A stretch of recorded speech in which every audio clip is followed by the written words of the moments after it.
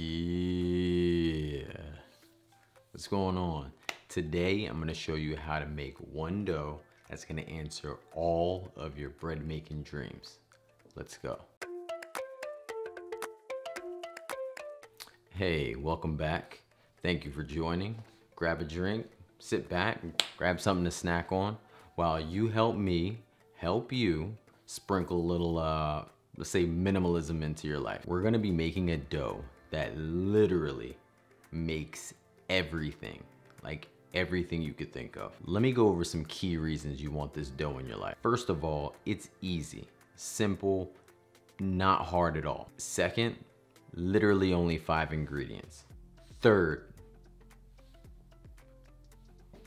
third, it is no knead, like not even a little bit. Don't don't knead it. Don't touch it. Just stir it together and say, yeah, that's it. You good. Fourth, no machine. No machine whatsoever. You don't need a stand mixer. You don't need a hand mixer. None of that. You don't need no machine to put this together. Honestly, you could do this in the complete dark and put it together. Like, say if it was a blackout,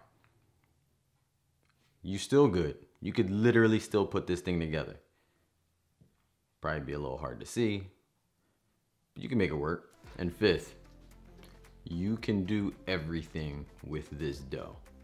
Everything. Say you want a loaf of bread, this dough can do that. You want pretzels, this dough can do that. I don't know, maybe um, cinnamon rolls. This dough can do that. How about a pizza? This dough can do that. I was thinking biscuits.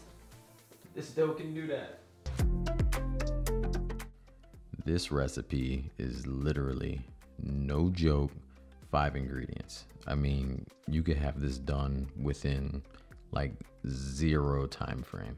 I like to get everything on the table and then you're gonna need a big bowl and um, uh, let's see, you, you wanna, um, hold on just a sec here. I can, right around.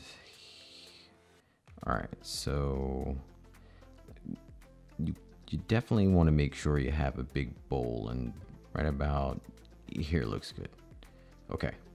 First, we're going to start out with our largest dry ingredient. You can use all-purpose flour, bread flour, wheat flour, all these work to make this dough. You're going to start out using about two thirds to three quarters of the flour. Later, you'll add in the rest, bringing it all together.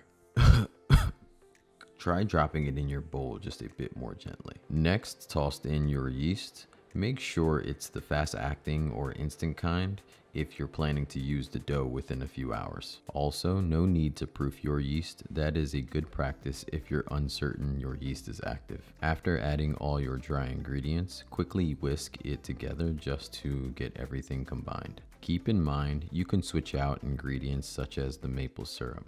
You can use cane sugar, and in that case, I would add that before whisking everything together. Last thing is going to be your milk.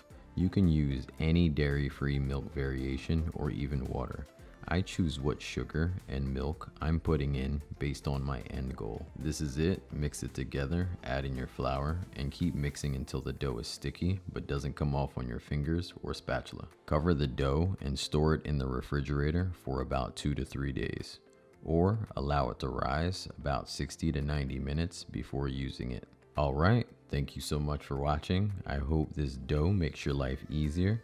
Stay tuned on the blog as we update more recipes using this masterpiece. I'll see you next time.